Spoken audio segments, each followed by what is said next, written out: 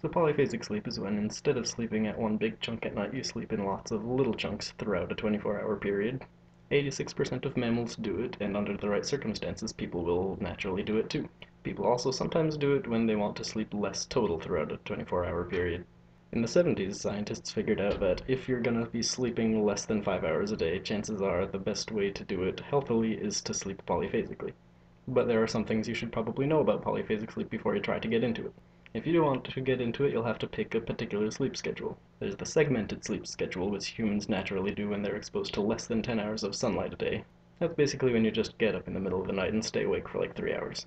There's also the dual core sleep, which is similar to that, but you nap a little in the day as well.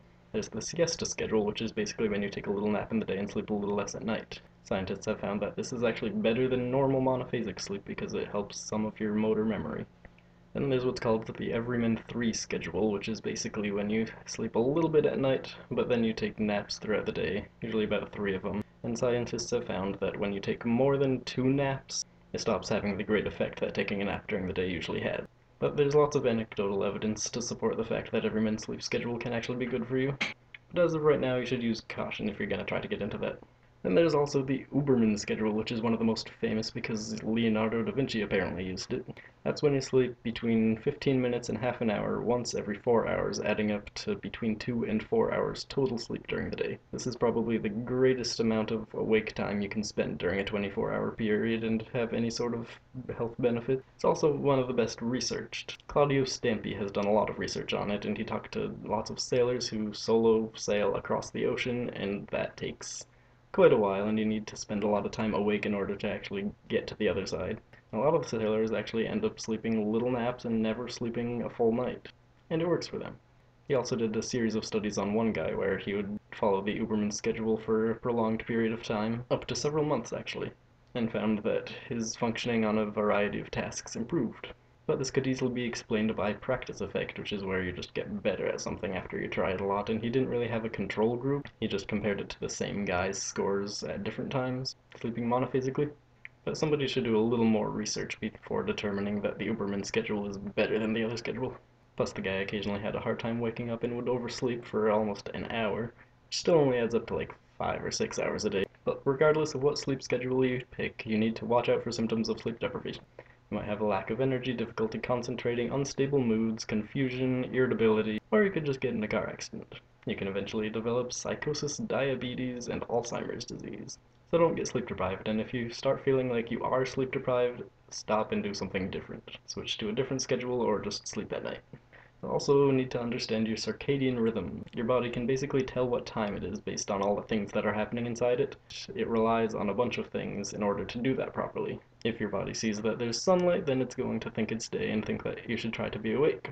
If your body is taking in no light or low wavelength light, like red light, your body is going to know that it's about time to sleep. The red light thing is odd, and lots of scientists theorize that it might be because we evolved to sleep near fireplaces, which is just kind of interesting. But eating is important. Just trying to stay physically healthy by having a good diet will help a lot if you're going to try to sleep less. People who generally don't eat well have to sleep more, even if they are just monophasic. And your body can tell what time it is based on what kind of meal you're having. Lots of people, if they have a sugary breakfast, will know that they reliably have to get up at that time, and their body knows to expect sugar at that time as well.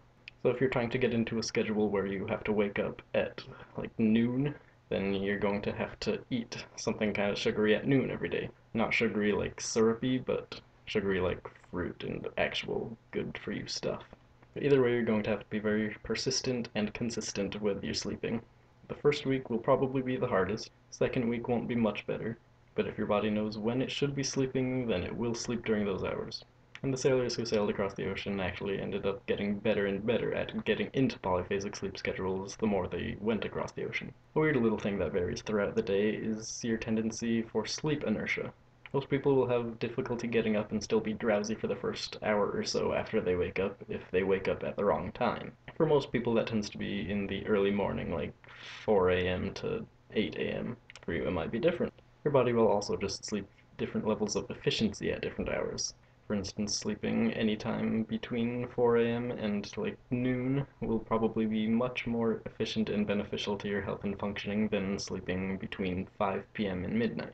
But all of these things vary a lot from person to person. You might get the most sleep inertia at night for some reason, and you might sleep most efficiently in the morning.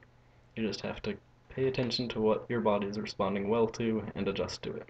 And that's the basics of how to get into a polyphasic sleep cycle. There's a lot of other information that would be really good to know and beneficial to read about, so I tried to send lots of links in the description. So it is really hard to get into a polyphasic sleep schedule, but if you stay healthy, stay consistent, and pay attention to what your body responds well to, you should be able to pull it off. And when you do, you might end up with like 18 to 20 hours of waking hours during your day, and then you can do all sorts of cool productive things. And it can just be a lot of fun.